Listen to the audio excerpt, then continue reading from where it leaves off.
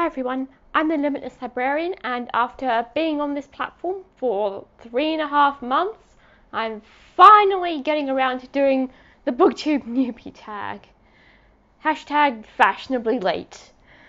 Normally, this is the first video that a new booktuber does, but for some reason, I just didn't do that.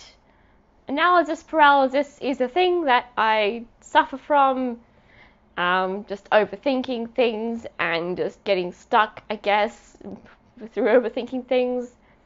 So I guess that's kind of a big part of why it took me a while to get to this. Um, it's, it's definitely been on my mind as the thing that I should do. Last month I did have a bunch of videos that I wanted to get done in that month, so that was also a reason why it didn't get done last month. Anyway, let's stop procrastinating and get on with the show. So basically, there are about 10 prompts that you answer about BookTube and why you're here and what you do, basically. So I've got my iPhone here with all the prompts. So let's get into it. So prompt number one is why did you start this channel? And I guess the main thing is that I wanted to just create something that was like a, a body of work that uh, I could make and have it and be like, yeah, I, I made this. This is a thing that I did. I guess I also just want to learn some more skills like editing, talking on camera, planning videos, and I guess just see what I could do. You know, test test the limits right? I mean, that's part of why this channel is called The Limitless Librarian. And books are something that I, you know, I read books just a lot normally anyway. So it makes sense that would be a thing that I could do with my time and resources and skills um, that I have. Prompt number two is what are some fun and unique things that you can bring to BookTube? And um, some of those things are, for example, my themed recommendations. I don't think I've ever seen another booktuber do something quite like that, recommending books for a specific uh, theme. Like, like people do stuff like seasonal TBRs or like best steampunk books, best zombie books, whatever. But this is like recommending based on a favorite character from a specific game, for example. And yeah, I just, I just don't think like the first one I did, the first video on BookTube, in fact, um, since I officially became the Limitless Librarian, was my Hunger Games book recommendations for each district, and I looked up, I did a search to see if anybody had done that, and I was really surprised to find that it didn't seem that anybody had done that before. Um, another thing that I bring to BookTube is the perspective of me being uh, a visually impaired bookworm. And though um, I mostly read books through the typical means of just standard print books, and just, I guess, bringing that perspective to things potentially, discussing things from that perspective. It's not something that I've done much yet, but I guess other visually impaired and perhaps disabled um, viewers in general, it might be nice to uh, have a creator that um, you can perhaps relate to in that way. And just maybe see, you know, I'm doing all these things, I'm able to do all these things in spite of my circumstances, for example. Prompt number three is what are you most excited about for the channel? And um, I'm not really sure. I'm not sure what I was particularly uh, excited about, I guess, just trying new things um, on it. Seeing what I could do, uh, what kind of videos I could make, if and see if anybody would like them, which it turns out they do. Um, so yeah, and since being here, I've also found um, how much I've enjoyed being part of the BookTube community, like on Discord, for example, and also just interacting with people on my comments and my community tab. And I didn't didn't know how far that was going to go. Um, but yeah, so it certainly surprised me, I guess. Number four is why do you love reading? And to be honest, I don't really know. I just do. It's it's a thing I've I've loved reading for years, and um, yeah, I, I don't really know. Like I mean, it's I love reading even when I was little, really. If you see my channel banner, uh, the quote "She reads everything. Everyone who ever knew me," that's accurate. That happened when I was little. Uh, my parents would tell people, you know, she likes reading, and they would ask, what does she read? And they would be like, everything. She reads everything. So I don't really know what got me started on it. Number five, what book or series got you into reading? Again, not really sure, because from when I was little, I liked reading. But I know what book really did it, I guess, when it came to like really, really getting into it. And that was City of Bones by Cassandra Clare. There's, uh, like, I was reading books and buying books before then, but I guess that's when my reading got more serious and constant. My nana was always telling the story of when she was um, out with me shopping when I picked that up. So I was out at the shopping centre with my nana. Um, I was this would have been first year of high school, so it would have been 13 or 14. And we're at Big W, which is a, like a big shop that just sells everything.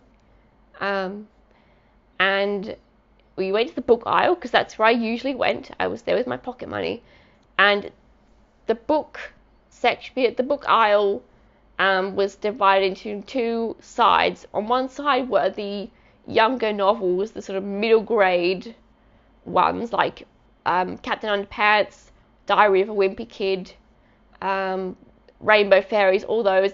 And then across the aisle, there was white. There was the YA section, so Hunger Games, Divergent, Mortal Instruments, all those kind of things. And so up until that point, when I went shop- book shopping with my nana at Big W, uh, I mainly stuck to the kiddie side of that book aisle. And so that particular day, I went there, I grabbed the Diary of Wimpy Kid book. And then, uh, I guess out of curiosity, just to see what was on the other side, I crossed the floor to the other side. And my nana was always uh, saying she wanted to, t- she part of her wanted to tell me, th- those are the grown-up books. The, you know, that that's the wrong section. There's nothing. There aren't any more kiddie books, there aren't any more of your books over there. But she didn't. She kept quiet because she just wanted to see what would happen. Part of her was curious to see what would happen when I crossed the floor and saw what was there. Would I go back? Or would I find something? Or what would I pick up? And it turned out I grabbed City of Bones by Cassandra Clare, which was the first Mortal Instruments book. And I guess that was the first real YA book um, that I picked up, and that was, know, started me going more on that YA side of the Big W book section and uh, consistently staying there. And so yeah, she was always telling this story about about that one fateful day, the first day she saw me cross the floor from the kiddie books to the more mature teen books. And the fact that part of her was wanting to say something, but she didn't because the other part of her was also just curious about what would happen. So, yeah, I guess there you go. The book that got me into more serious reading was The City of Bones by Cassandra Clare. Number six is what questions would you want to ask your favourite booktubers? And honestly, I'm not really sure. I've asked questions in um, Criminoli and Reading This Life's Discords, but they're more like advice type questions. Like, I don't know what I really ask people. I'm not the most social butterfly in the world, so I don't know. Number seven is what challenges um, associated with starting a booktube channel do you think will be the most difficult to overcome? And uh, obviously, those are going to be more things related to my disability. But in now, I've kind of figured out some workarounds. Um, like, for example, due to my extreme short sightedness, I can't really tell how I look on the iPad screen as I'm filming. even though there's less than a meter between me and the iPad. So I can't really see how I look on film until the video is done and I can hold the iPad screen up close to me to see how it turned out. Um, so I can't really tell if the angle is good, if everything's in frame, or if there's something out of frame, or if the lighting's dodgy, um, until after the fact. And um, so if you've seen that Hunger Games Districts video, you'll notice that as I went through the books, they started sort of piling up in front of the camera.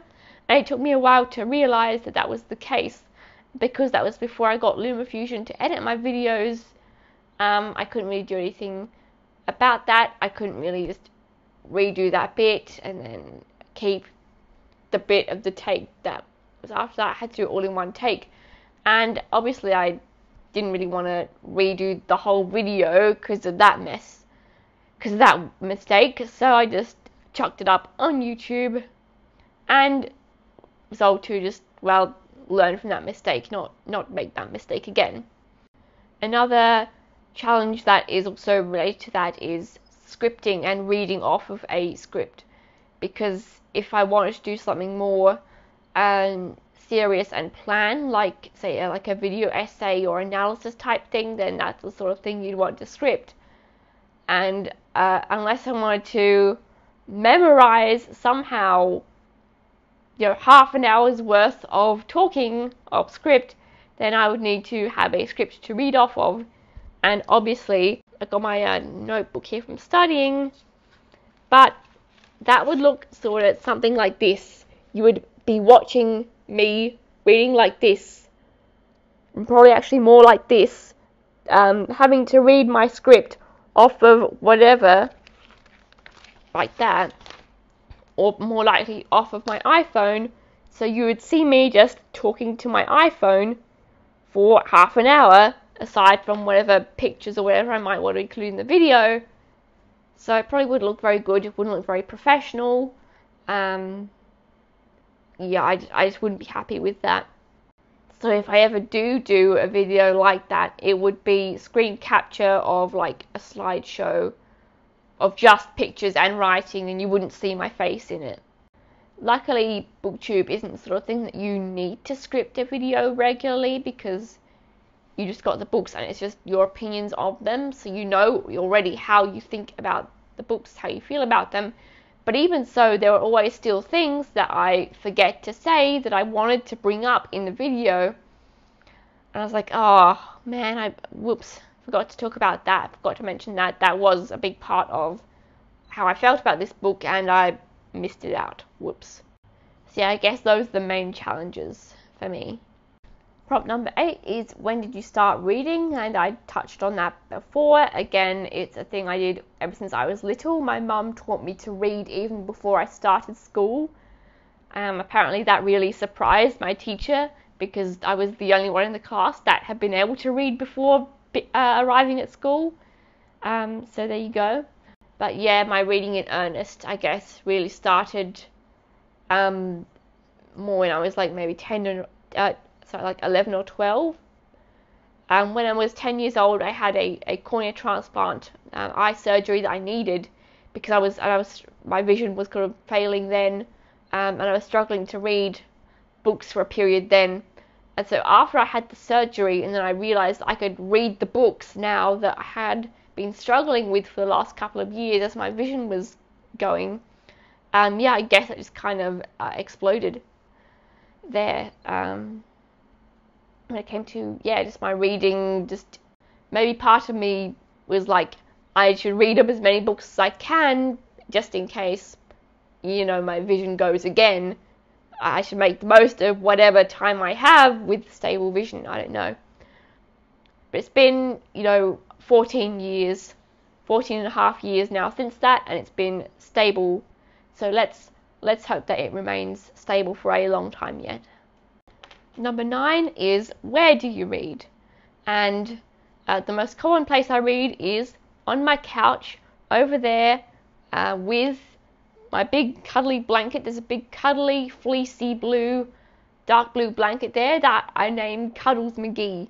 Let's see if I can get it into the camera frame.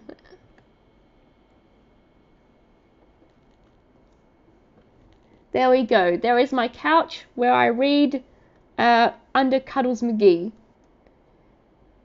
Even on a hot day with the air conditioner on, um, even if I don't get under it, I still can't chuck it off. It's just very nice and cuddly to sort of have there, even if you're not under it. So there you go, and there's a green block next to it to keep all my currently reading books, current reads on. And last prompt, number 10, is what kind of books do you like to read? And um, my main genres are sci fi, urban fantasy, and historical fiction, but there is certainly a lot of room for other ones. Another part of why I'm called the Limitless Librarian is because, as my parents were often telling people, I read everything. There are like mystery books like the Thursday Murder Club that I read. There's horror like Stephen King. There's a more high fantasy like Song of Ice and Fire and Sarah J. Maas. There's a bit of romance like Heartstopper. Um, thrillers like Vince Flynn's Mitch Rapp books. There's I, like I read pretty much anything and everything. Like I definitely have preferences, but I'm not rigid about sticking within those preferences a lot of um, booktube advice videos I watched at the start said you kind of need a niche, but that's kind of a problem for me because I don't really have a niche. Like, even though I have my preferred genres, I don't read exclusively enough within those genres for it to be enough for me to make that a niche. And I don't want to force myself to restrict my reading to a, a niche for the sake of having content for my channel because then it's going to make reading less fun, it's going to be a chore, or it's, it's going to, I'm, go, I'm going to have all these other books that I want to read, but I have to uh, pace myself and spread them out because otherwise I'm not going to have anything relevant to post on my channel. I don't want to deal with that, so I'm just like, bother that. I read everything. I am the limitless librarian in more ways than one. And that is that is me. That is my brand. My niche is I am limitless. That's the theme. My theme is I am limitless. That's that is my my theme. So th- there you go. And it seems to have worked out fine enough for me. So there you go. That was all of the prompts on the BookTube newbie tag. Um, so if you're a booktuber and you haven't done the tag yet, uh, maybe do it and don't be like me and let your analysis paralysis cause you to put it off. Um, a lot of new booktubers I know get a lot of their early traffic from it. So I guess I kind of maybe shot myself in the foot with that. Although my first video did do rather well because it was timed with the Ballad of Songbirds and Snakes movie that being the Hunger Games district theme recommendations video. So I guess I didn't do too badly there, but yeah, definitely do the BookTube newbie tag if you haven't. You know, throw off the analysis paralysis. Um, it's definitely something that I had to work on just in general in life. So thanks for watching. If you like that, please like and subscribe. If my BookTube newbie tag um, told you a bit about my channel and that sounded interesting, please subscribe. And with that out of the way, thanks for watching. Do lots of maths, read lots of books, and I'm sure you'll have an awesome day.